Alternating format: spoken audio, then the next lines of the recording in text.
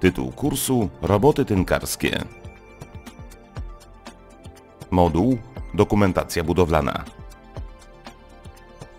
Temat Rodzaje dokumentacji budowlanej.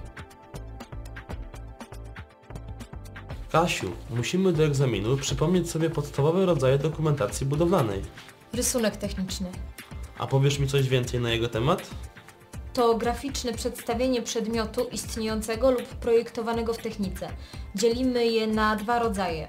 Zerknij Krzysiu w notatki, bo nie pamiętam jakie to rodzaje.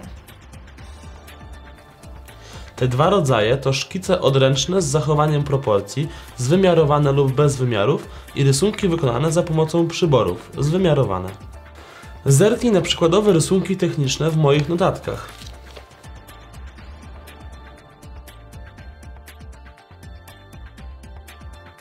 Czy rysunek techniczny wyróżniamy z jakichś względów?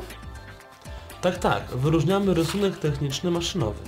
Rysunek budowlany oraz rysunek elektryczny. Pamiętaj Krzysiu, że dokumentacja techniczna stanowi zespół dokumentów, które zawierają dane techniczne, dzięki którym możliwe jest wykonanie określonego przedmiotu.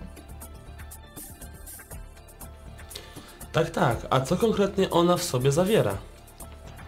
Przede wszystkim opis techniczny danej budowli, obliczenia wytrzymałościowe i statyczne, rozwiązania konstrukcyjne poszczególnych elementów.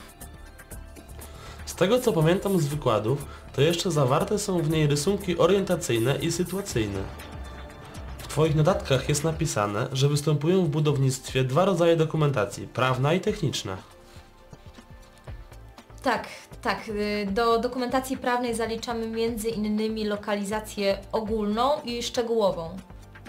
Czy lokalizacja ogólna to stwierdzenie potrzeby danej inwestycji? Tak, a lokalizacja szczegółowa określa dokładnie, w którym miejscu ma stanąć dany obiekt budowlany. Materiał został opracowany w ramach projektu Model systemu wdrażania i upowszechniania kształcenia na odległość w uczeniu się przez całe życie, współfinansowanego przez Unię Europejską w ramach Europejskiego Funduszu Społecznego.